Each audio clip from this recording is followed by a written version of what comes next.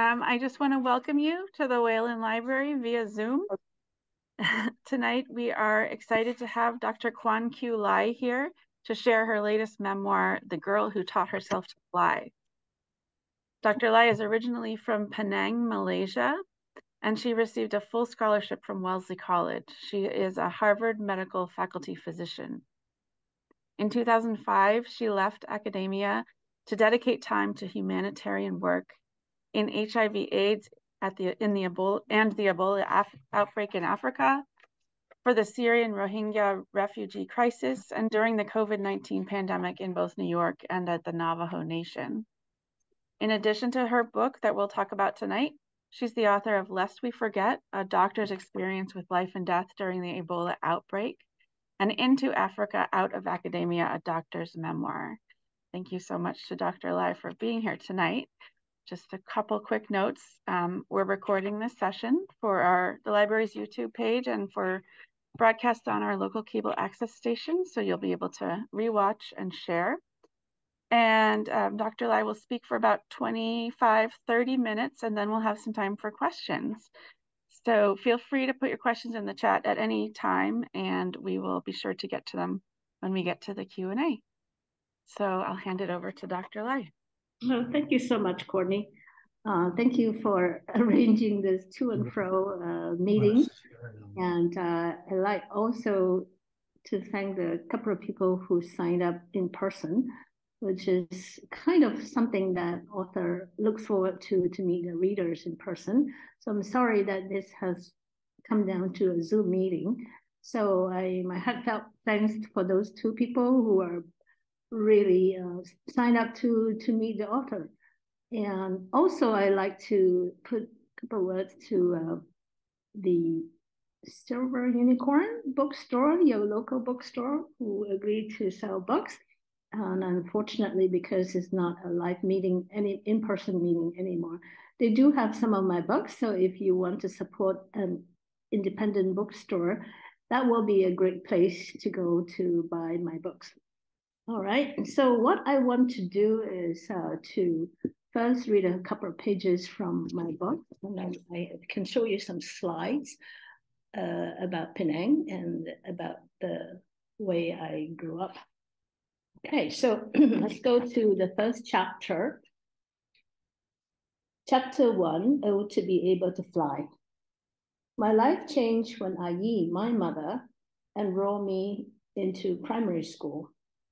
I was a fledgling, slowly growing her feathers and preparing her wings for a long flight into self-determination and independence. Before then, I watched with envy as droves of Tamil girls went to the school across from my home to learn to read and write. They wore clean blue and white uniforms, carrying the school books in their shoulder bags while I was the street urchin who remained uneducated, whiling away my time, conceiving ways to play pranks on them. On our way home from Kwong Chinese Primary School, my second sister, Kwan Mei, who was two years older than me, occasionally took a shortcut through the Tamil Indian village. The Tamils lived in mud houses next to a few open stalls where they kept their cattle and goats. The ground was always wet with cow dung and urine. And on rainy days, rivulets of animal waste filled with the paths. We picked our way with great care around the puddles, trying to keep our white shoes white. The overwhelming stench defeated our effort of covering our noses with our handkerchiefs. The Indians' homes were made of mud mixed with straw and cow dung. The women drew kolam early in the morning after sweeping a patch of dirt at the front door of their homes and dousing it with water. They sprinkled finely ground rice flour freehand and with little hesitation created symmetric and geometric designs of vines and flowers. The kolam was a sign of invitation to welcome all into their home, including Lakshmi, the goddess of prosperity and wealth, and it prevented evil spirits from entering. A little Indian girl cared for her baby brothers, playing on a small patch of concrete floor at the back of the house, surrounded by dirt, dung, and mud. The Indian girl's dress, brown with dirt, was missing a shoulder strap. It draped across her chest, barely covering her nipple. No sunlight penetrated the thick, waxy foliage of a mango tree. A corner of the world was dark and dingy. She flashed a shy smile when we ran by. A woman, hair done up in a bun, hunched over a stove with blinding and choking fumes rising from the fire she had started with dried cow dung and coconut husks, yelled at the girl to fetch a pot from the house. Hidden in a forsaken corner of the earth, the government was not likely to discover a lone whose parents broke the law for not sending her children to the to the mandatory primary school. One day, when we took the, that shortcut, Kwan Mei and I stopped in our tracks. The Indian girl was dressed in bright silk, while her brothers remained in tatters. Her face was powder white, her eyes were outlined in black coal, and her fingers were stained with henna. A colorful and glit glittery scarf draped over her head, and numerous gold bangles dangled from her wrists. Her feet remained bare, except for encircling golden anklets and toe rings, and her nails were painted bright red. Her resplendence contrasted with the dark, squalid ambience of the back of the mud house. Despite the stench, we stood transfixed, admiring her transformed appearance, unsure why she was so richly attired. The red bindi on her forehead gave her away. And at 13, although she looked more like 10, she had become a married woman. By a cement tank outside the house, a grown Indian man splashed and poured a bucket of water over his curly dark hair, taking his bucket bath. He had hair growing from his chest all the way down below the navel. Apart from a dirty loincloth, he was naked. We averted our eyes and ran past him. Was this grown man twice her size, her husband? He could have been her father. Did he live in the same village and own many head of cattle? A good marriage for her, according to the Indian tradition. Soon the little Indian girl's belly began to swell. Less than a year after she was married, she cradled her baby while still caring for her younger brothers, all while Kwan Mei and I continued running back and forth from school to home. Her world remained the same patch of concrete floor surrounded by the cow stalls and stench, her baby in a pack on her back while she prepared the family meals. A frightening thought crossed my mind. What if my father decided to marry us all the same way? I shuddered. Ayi, my mother, certainly could not prevent this from happening. She could not stop him from giving her baby, Awan, away to his brother. Even before the baby was weaned, she was not even included in the discussion and had no say whatsoever. I wanted to see the world and not be bound to a small, forgotten fragment of the earth.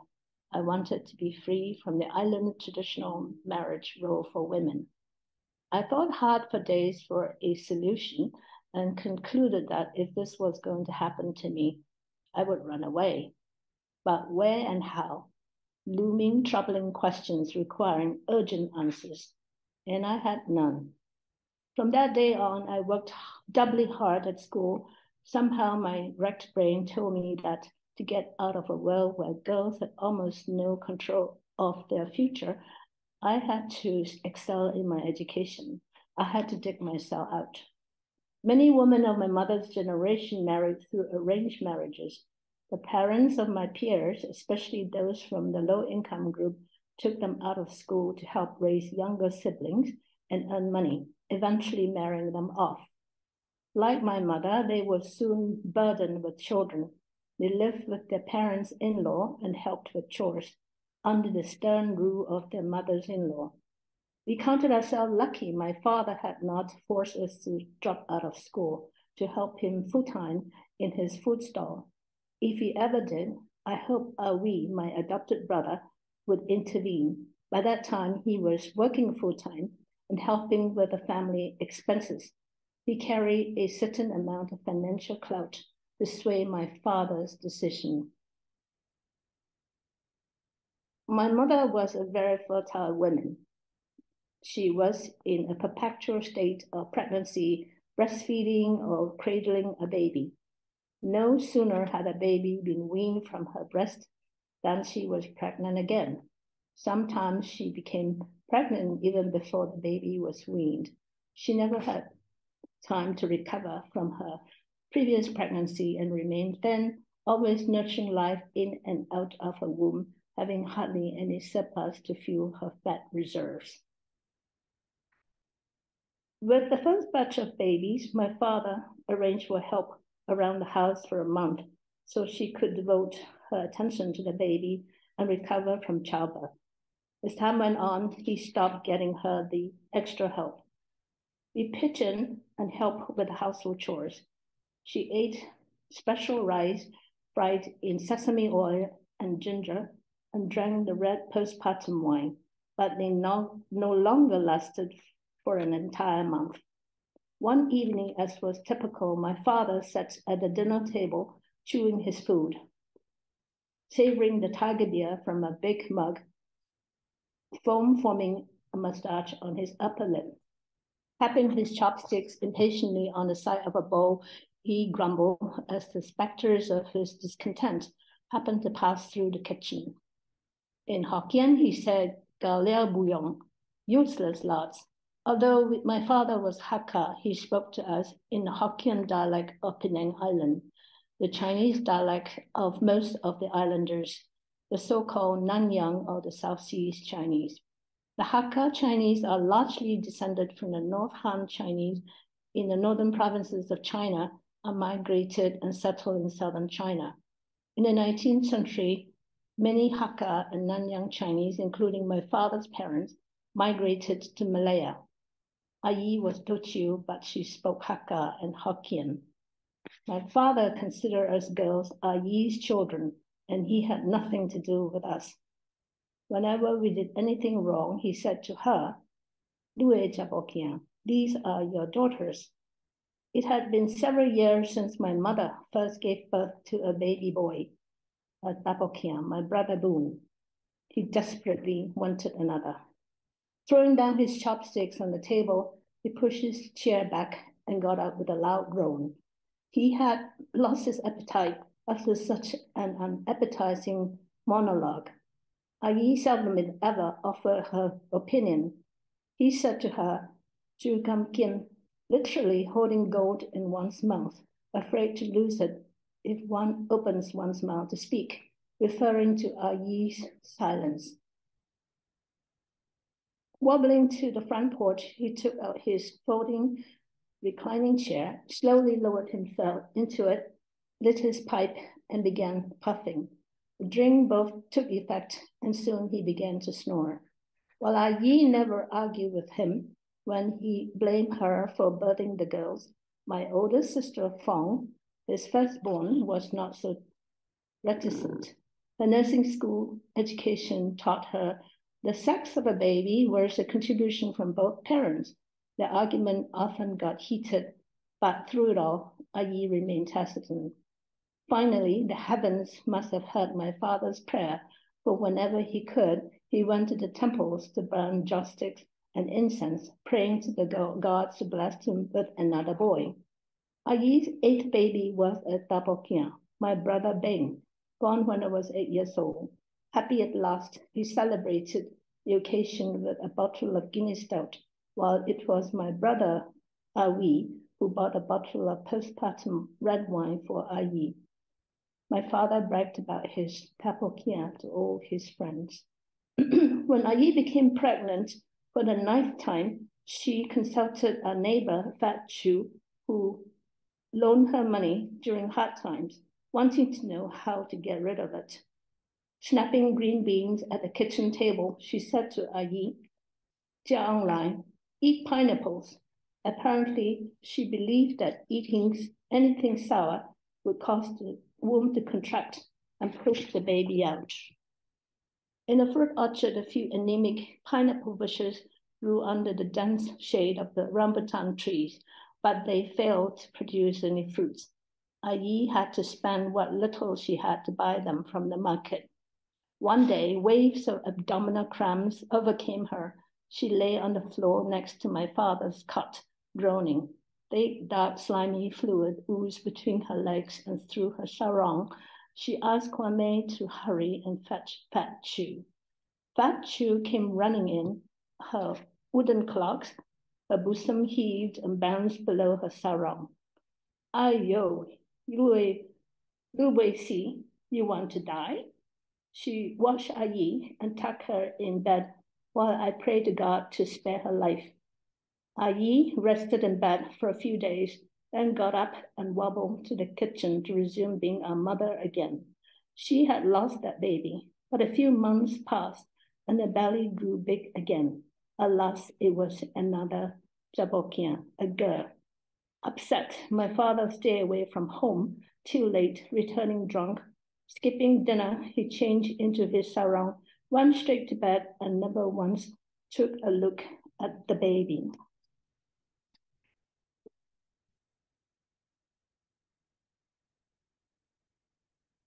Ayi did not try to get rid of her subsequent pregnancies after that scary attempt. It, in my early teens, I made up my mind that my that to not to submit myself to living a life like Ayi, completely financially dependent on my father. Although given the choice and the right circumstances, she would have loved to find herself a job and be rid of her dependency. Her lack of education hampered her, and she was overburdened with too many children. She tried hard to be financially independent by raising her brood of fowls, but that was fraught with uncertainty. I remember a little Indian girl living on a small fragment, forgotten patch of the earth. The solution for me to escape the cycle of poverty was to get a good education a career and not be financially dependent on a man. Even if I did get married, I would have to say what I could and could not do. When I was six, living in the orchard with the wang fields in the back of the house, I watched the swallows or the burung layang layang flying excitedly in the evening, swooping fast and low with their tuxedo scissor-like tails temptingly close to me, teasing and challenging me to follow their lead. It was then I asked us what we imagine ourselves to be if we could change into an animal. I told her without hesitation, I wish I could fly as free as a swallow. This thought stayed with me and it spurred me to pursue a drastic course to leave my loved ones, my home, and my country to fulfill my dreams. I fell in love with the idea of being free, independent, and the one to steer my own destiny. I wanted to be like the swallow, the burung layang layang. I wanted to be able to fly. I never asked Ayi what she wished to be. Did she also dream about being free to choose and oh, to be able to fly? All right, I'm going to share some uh, slides with you.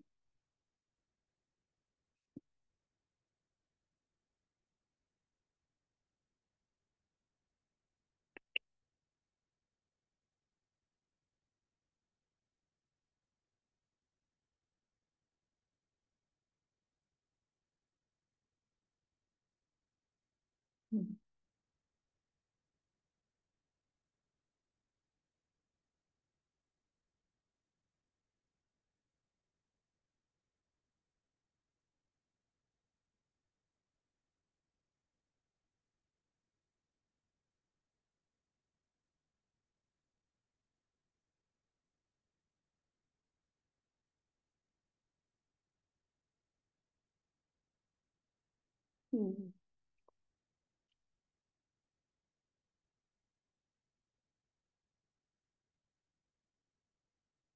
Uh, I don't know how to get to the share screen. should be at the bottom in the center of yeah, share screen, but yeah. I can't find my PowerPoint. Is there oh. any way I can find is it? Is it already open somewhere? It is open, yeah. Hmm. Um, it won't be showing like the open slides. It'll show sort of the workspace of the PowerPoint. Mm -hmm. And then you'll have to say present slides. I don't know if you can see that. Mm. Let me see. If I say share screen, mm -hmm. and I have my PowerPoint open, you don't see it? No, I think the next thing after share screen is to select that window. Uh, what window? So when you hit share screen, it will ask you what window do you want to share? Um, and then you choose PowerPoint. Ooh, it doesn't give me that. It's possible it's hiding behind another window. If you minimize Zoom, maybe.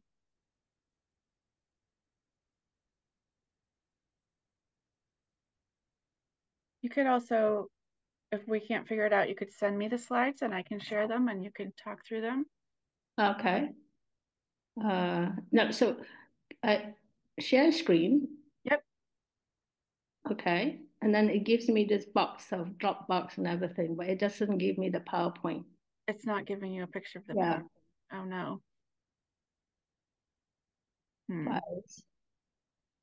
Doesn't give me that either. Hmm. Sorry about that. Okay.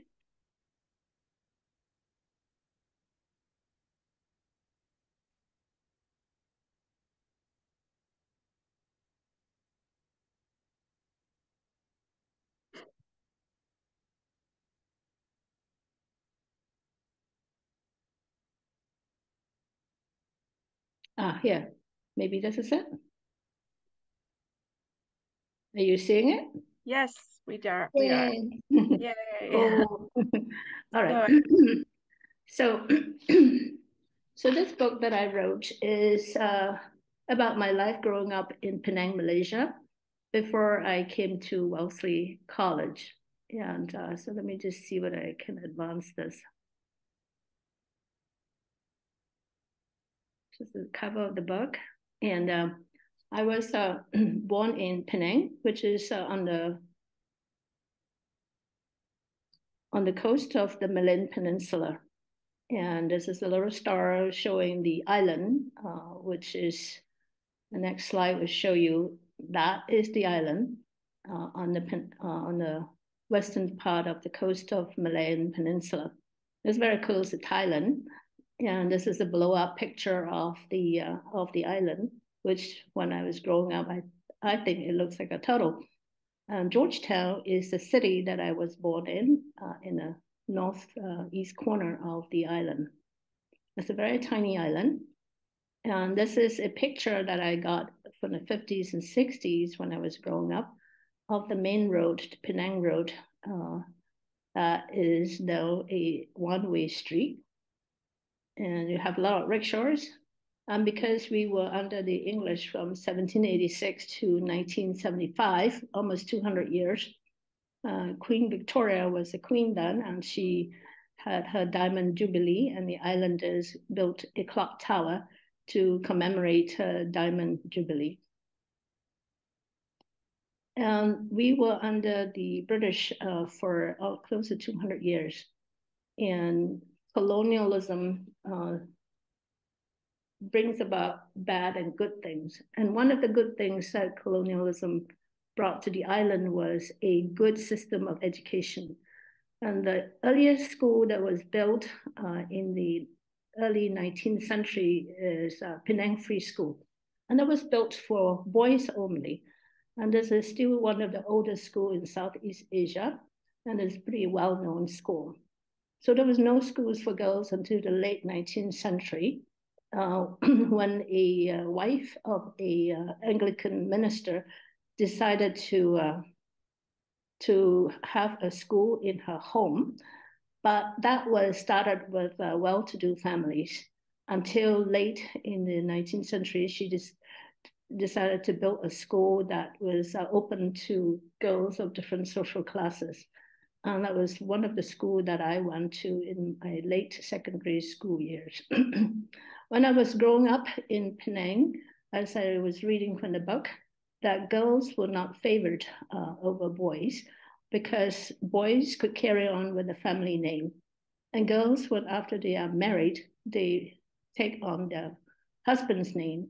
So the, the family name, our family name will disappear. So we'll end with the, with the girls. So my father always favored uh, boys over girls. so when the uh, the missionaries came with the English, they started building lots of other schools. The Jesuits built uh, St. Xavier's Boys School, and the Methodists built schools for both boys and girls. And the Catholic nuns built lots of convent schools on the island, and those schools were for girls. So there's a lot of competition between boys and girls in, in the education. And uh, not to be outdone, the local people a big racial group of Malays, Indians, and Chinese. The Chinese are very into education, so they built uh, schools for uh, a Chinese school. And this is a secondary, uh, well-known Chinese school that was built by the Chinese. And the Buddhist nuns in Penang built a school for girls. And that's the school that my older sister, after she left the convent school, went to. So girls during my time um, were not sent to schools after after primary school, which is a mandatory part of the schooling. And they were often uh, taken out of school and then farm up to, to earn a living uh, or to get ready to get married.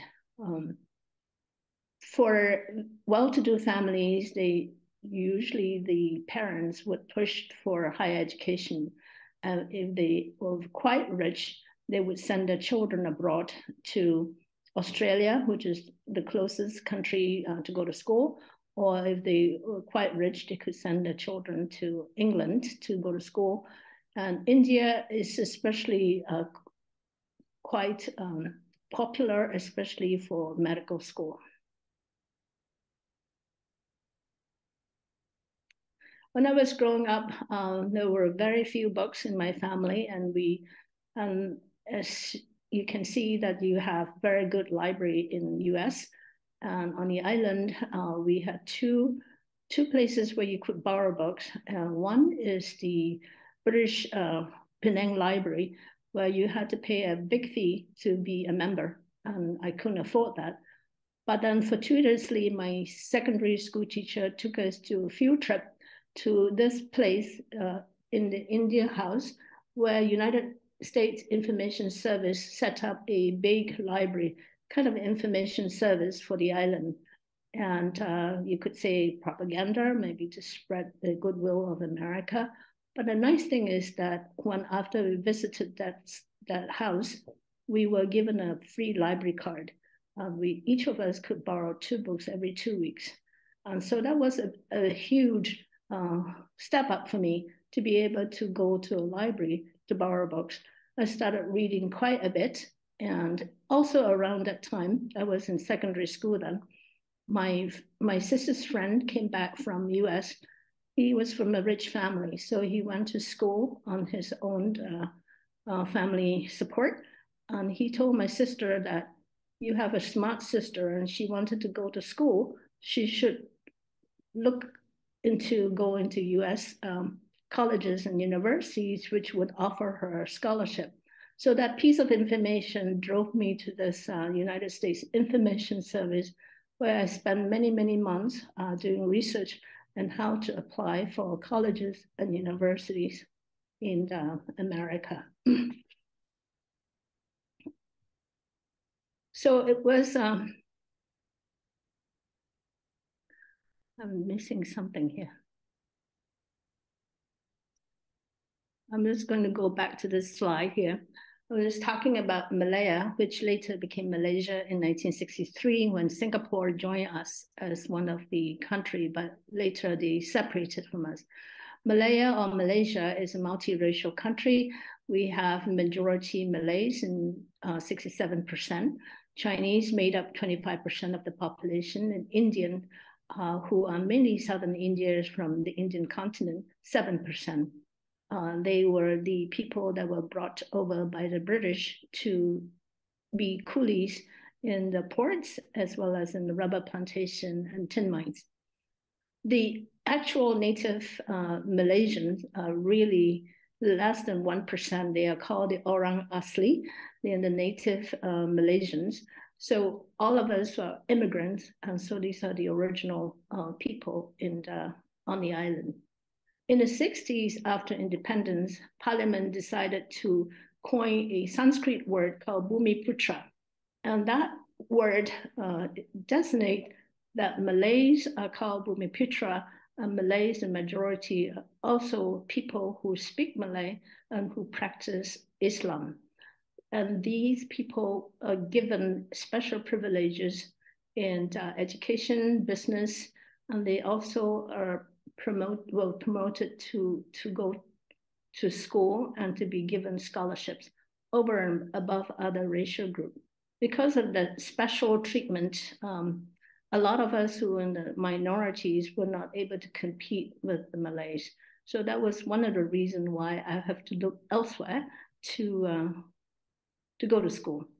So after many months of research, I got a, an acceptance letter from Wellesley College, um, and and they gave me a full scholarship of three thousand four hundred forty dollars to be awarded to me yearly, which was uh, a a gold mine for me.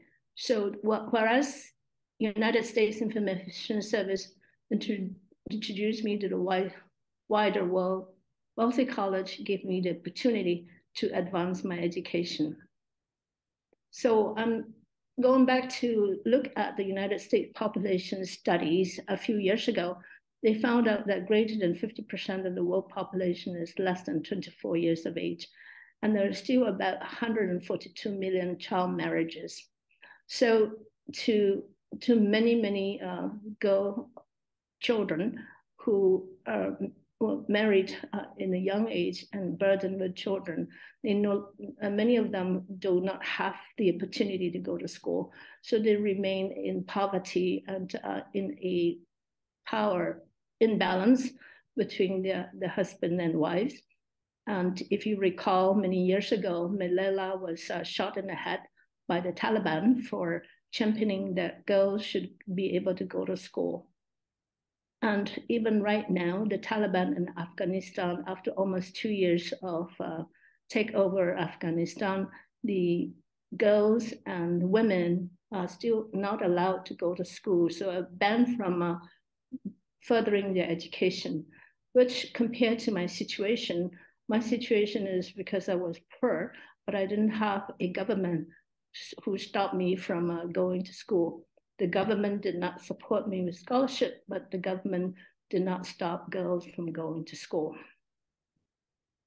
So the October 11 is International Day of the Girl Ch Child.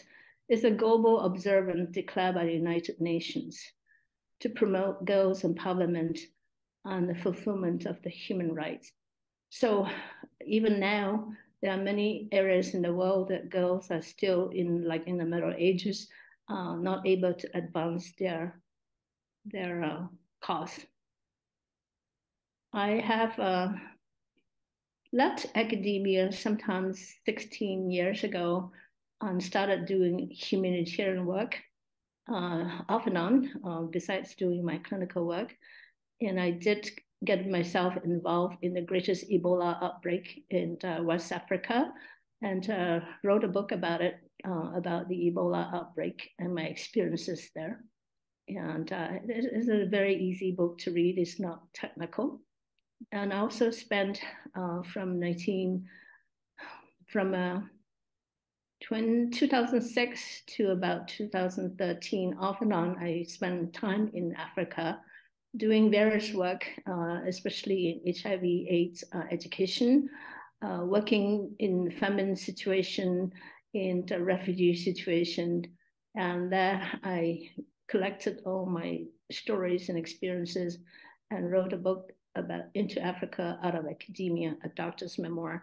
That is all about my experiences in Africa, um, minus the Ebola experience.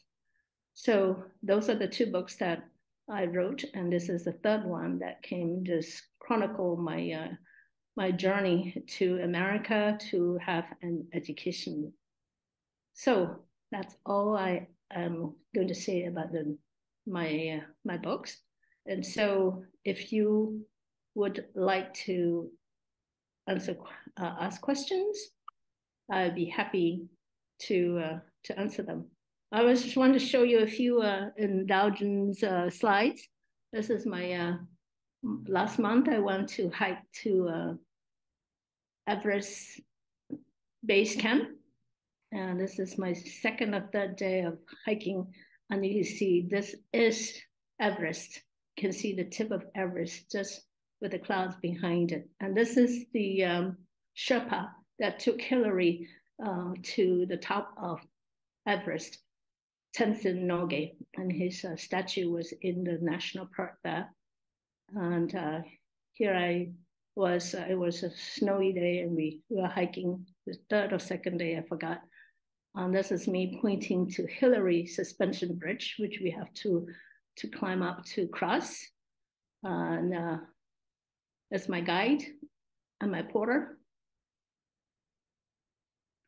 And this is the yak that carry many, many, many heavy stuff. Uh, we will encounter them on a hike. Uh, this is part of a hiking towards base camp.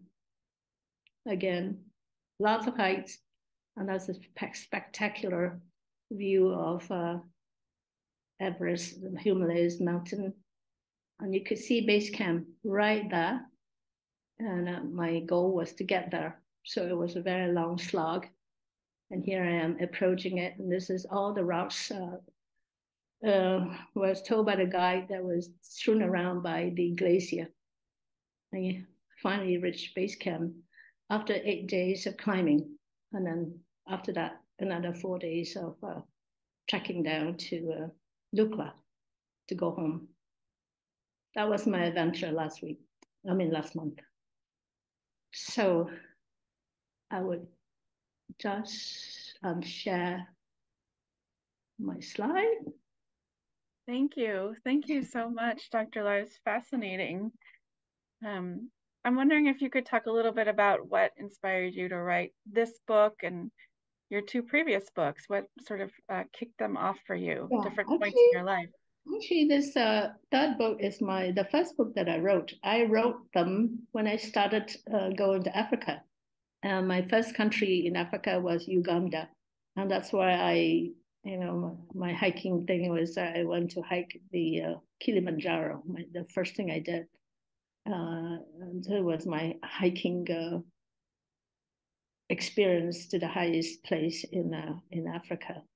Mm-hmm. And I found that when I was in Uganda, uh, night fell very quickly uh, in the tropics, and everything was plunged into darkness. There was nothing much to do, no Wi-Fi, no TV just a naked light bulb to read, and even then was not enough light for me to read. I have to use my headlamp. I decided I have so many hours of being alone that I would write, and uh, and not to get published, but just to write my thing about my growing up. I'm thinking that my children will read them, so they will have some notions of what it was like to to live in a, a, a poor area. Mm. So there's this writing lots of stuff, you know, just information for them.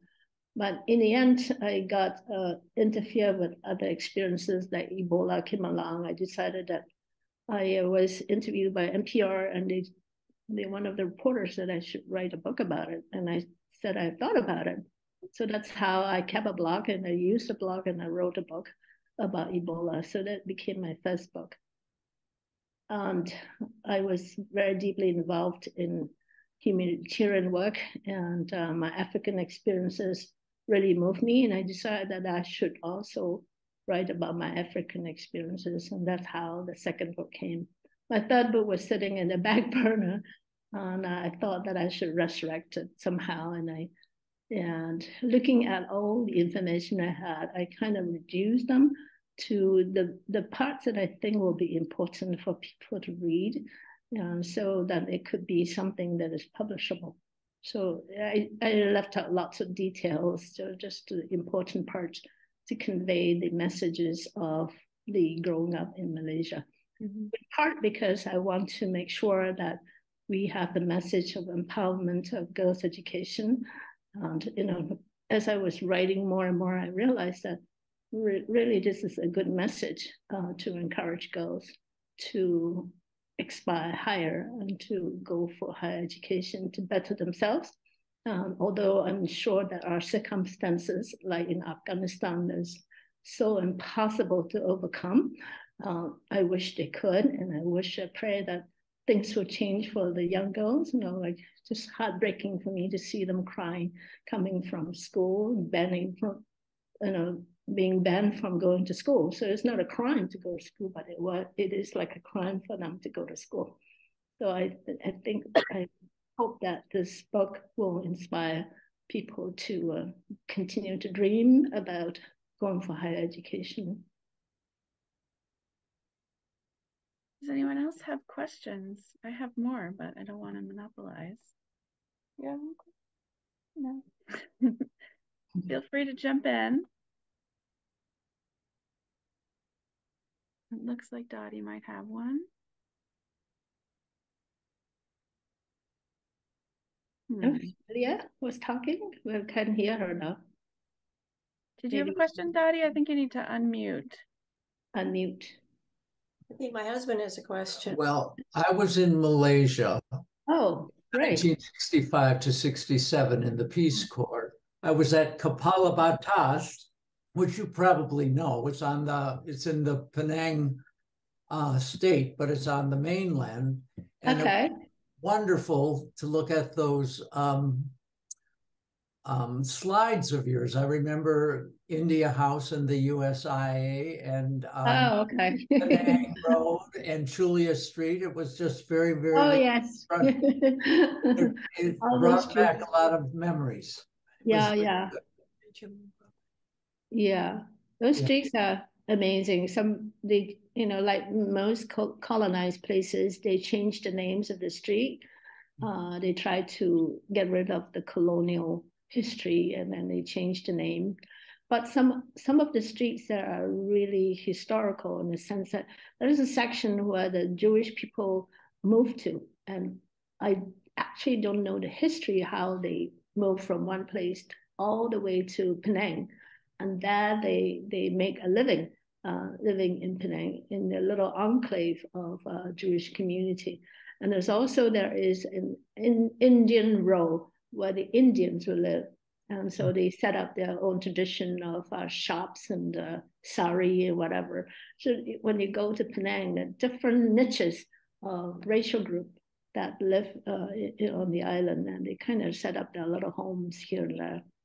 So in, in changing the name, sometimes you feel as though history is being erased, mm. but uh, but such is the nature of our uh, trying to erase our other history. I think it would be nice to keep some of them, or even archive some of them. Mm-hmm. Thank you. Um, can you? I, I, talking about Peace Corps, actually, my sister had a Peace Corps teacher. I didn't, and I was so envious. uh, and the Peace Corps teacher was uh, introducing lots of new things to them, new stuff, uh, showing them new books. And uh, so there was a lot of uh, new knowledge that is mm. outside our classroom, outside our textbooks. So I was always hoping that I somehow would get a Peace Corps as my one of my teachers, but I never did. Well, chances are I probably knew that person.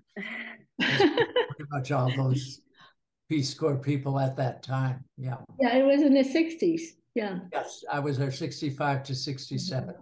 Yeah. Like and uh and and we just it's nice to have uh people who introduce you with new ideas and new things, and uh, rather than you know be very provincial, little island.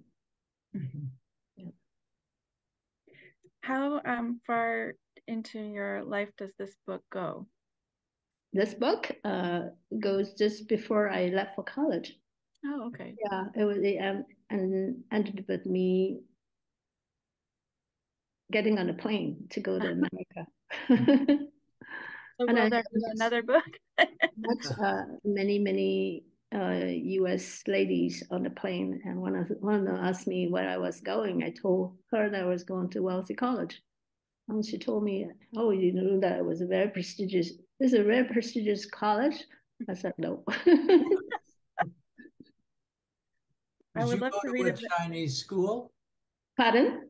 Did you go to a Chinese school? I did. I went to a Chinese primary school and I learned lots of Mandarin uh-huh. and uh, they introduce English maybe twice a week. And then we have Malay. We got our independence. So mm -hmm. the government decided that we have to learn the language Malay. So there mm-hmm. was no textbook. It's just a very, very, very fierce teacher that taught us Malay. I think if you read the book, you'll read about Dr. Uh, Mr. Joseph Yusuf, who was very mean and uh, trying to teach us Malay, and we didn't learn very much from him. And then after after primary school, I decided that I had to learn English properly. So then I wanted to just go to English school. So secondary school was all English. Okay. Did you go through one of those bridge classes to get yeah, there? it's called yeah. form remove. Yeah. yeah. So I went through a year. They just call remove class where you spend a whole year learning English. Um, yeah. So then you can go to form one mm-hmm. mm-hmm. to be with the other regular students. Yeah. Yeah. Yeah, my, son also went to Peace Corps. He volunteered in Sierra Leone as a Peace Corps right after the college. So he oh. spent about almost three years in a, in a rural area in Sierra Leone as a Peace Corps teacher. It was really hard for mm-hmm. him. wow. And uh, will there be another book going from Wellesley College until the present day? I started writing uh, many years ago. You know, when you write memoir, you have to be careful because it, it involves other people. And so the, you know, the, you don't want to offend people and yet you want to tell the truth. And so when I was writing this memoir, not to be published until some time when I decided that I will publish, I started uh, asking my family who mentioned in my book about the notion of them being mentioned in the book. And they, uh, I had very mixed reactions. Uh, some uh, said, don't ever mention me, or I said I could change the name. And so I would say 90% of them said to me, change the name.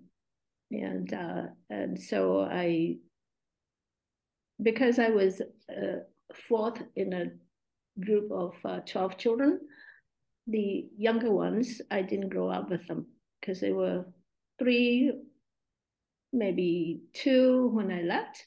So I didn't grow up with them. So I didn't really, I felt sorry that I did to not include them in my book.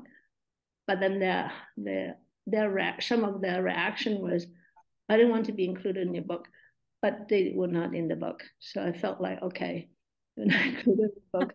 And, uh, but, you know, it was a very strong reaction. Some people just didn't want to be mentioned. They didn't want to be, I'm not sure whether they even read my book. Mm-hmm.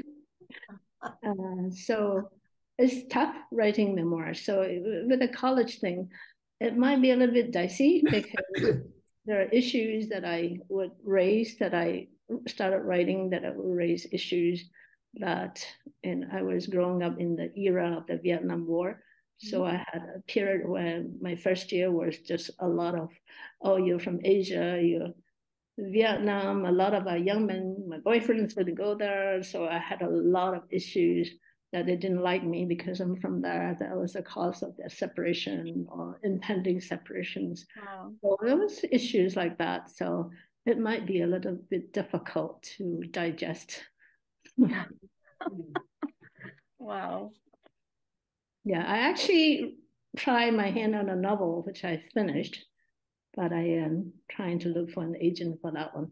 Just oh. about my, I make it into a novel just because I wanted to be able to be free about writing the stories in that, and that is about the the um, you know, unequal pay for women in medicine, uh, which is quite true and it's still true. Uh, so I thought is something that I feel passionate about that I like to to go into discussion about it because many many women would just let it go and they don't want to discuss that pay issue because they like not to rock the boat. They like to be able to stay home or work less so they can be home with their children. So the negotiation power is not there. Um, so they just let it go and they just they're still earning less than the male counterparts. Mm-hmm. and it's still quite true today. Yeah. Yeah um, there's a comment from Cindy in the chat. She says, I've read and enjoyed your first two books and look forward to reading this one. I'm amazed by your bravery. Thank you for sharing your experiences with us. How does your family in the US react to all of your absences? Do they ever come with you? Will you do another book about your experiences in the US? Oops, you already answered that. yeah, um, no, a, a, lot of my uh, going away doing humanitarian work they don't allow um, family because they don't want to be responsible for their safety. Yeah. yeah. So they just it's so it's simple for them to just have you. They didn't want to be able to be responsible for the entire family unless, you know, like with the Doctors Without Borders, I have met whole family in in the um, in Malawi where the whole family actually work for for MSF. Wow. Except the children, because the parents are there, the children come with the parents, and so the children can go to school, international school. Hmm. Uh, but you know, with other uh, organizations, they don't allow spouses or children. My children are too busy, you know, with their lives to to do that, and my husband had no interest whatsoever to go to Africa. Africa is an unknown a scary continent for most people. So the children are always worried whenever I go to uh, um, not peaceful country. Like when I went to Libya, they were quite afraid of the bombs and everything. And uh, I would say to them that I would be more afraid to go to Somalia than Libya. and uh, so when I went to Libya, I wasn't afraid. And uh, Somalia, I think, is a, a, road country. It's really difficult to mm. deal with. And I went to Yemen uh, three years ago, and uh, I didn't feel uncomfortable in Yemen either. Uh, so it was during the war. They still have a war going on. Wow. Do you go with certain organizations? Yeah, with different ones. Yeah, yeah. With, uh, with Yemen, it was with Med Global, which is a organization, fairly new one, set up in Chicago, and they are really into helping the Islamic country. So they are the ones that went to. They, I think, they have a big presence in Syria, and recently with the earthquake in Turkey, uh, they also went there to help out with uh, medical conditions in uh, Turkey as well as in the northern part of Syria. Wow. It's a different organizations. It just happened to be if someone, you know, call you and need you. So I would depend on my schedule. Yeah. And also depend on, on their needs. I say Ukraine, um, they only need surgeons and anesthesiologists. Uh, so they're pretty modernized. They don't need other stuff, but they need people who could do the operations. Huh, I never thought about that. Yeah. Fields yeah. of medicine needed in different places. Yeah, but if you read the Ebola book, it took me a long while to get someone to take me there. I worked for months just trying to get there because I just couldn't in my conscience stay home when I saw so many people dying in the streets. I felt as though I could be of help, but it did not come easy. The the opening did not come easy. Hmm. Wow. Does anyone else have any questions for Dr. Lai? Is she practicing, she's practicing, um, here now? Yeah.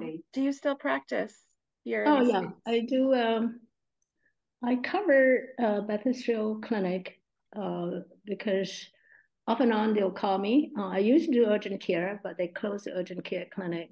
I think because of the pandemic and stuff like that, it was hard to screen people. But the last six months or so, I had been, uh, called to cover a shortage of people in some of the clinics. So they had asked me to kind of fill in a day or two, but I, I mean, I, I do out of kindness of my heart, but I, I really don't need the, uh, the uh, financial stuff, but I just felt like because they were really in need of somebody to, to take care of the patients, I would help out.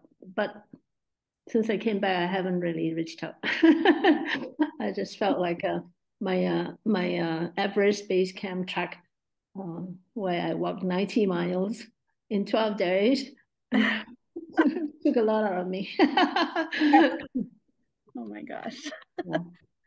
Wow. Well, thank you so much for sharing your story with us. Um, we should say again that um, the there are copies of the book available everywhere, but also at the Silver Unicorn bookstore in Acton. They were going to come sell here tonight, but that didn't work out. So if you get a Yeah. chance to check out that store, it's really Yeah, great shop. support them. Yeah. Yeah. And I would I hope that if you read my any of my books, you would try to leave a review in your favorite site, Goodreads, Amazon, or BookBubs, whatever. It will be helpful for the other readers. Yeah. And Great. thanks so much for spending your evening with me. Thank you again for sharing. Thank you. Namaste, as I learned in uh, Yeah. Nepal. Kamsialu.